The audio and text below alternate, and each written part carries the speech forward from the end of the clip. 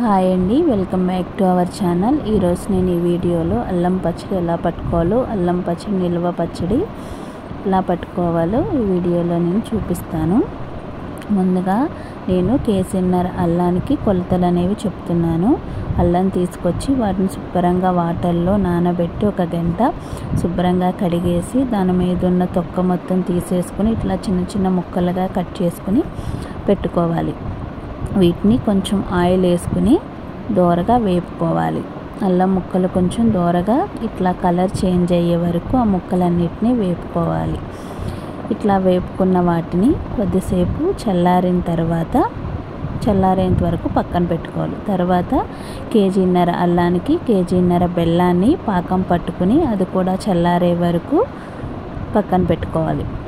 తర్వాత మనం వేపి ఉంచుకున్న అల్లాన్ని మిక్సీ వేసుకోవాలన్నమాట.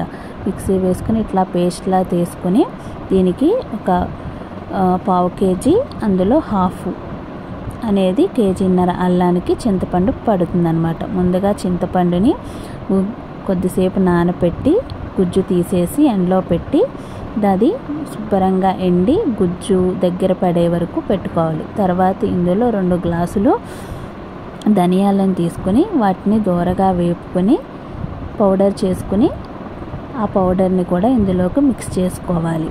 తర్వాత మూడు గ్లాసుల కారాన్ని కూడా ఇందులోకి వేసుకోవాలి. తర్వాత గ్లాసున్నర ఉప్పును కూడా వేసుకోవాలి.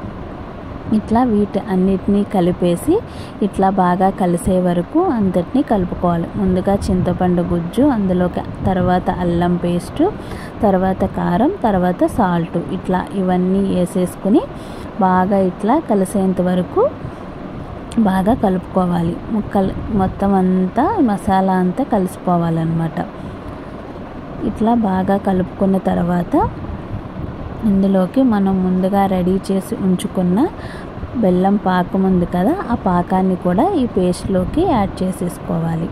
మొత్తం కలిసేంత వరకు బాగా దీన్ని అంతటినీ కూడా కలుపుకోవాలి.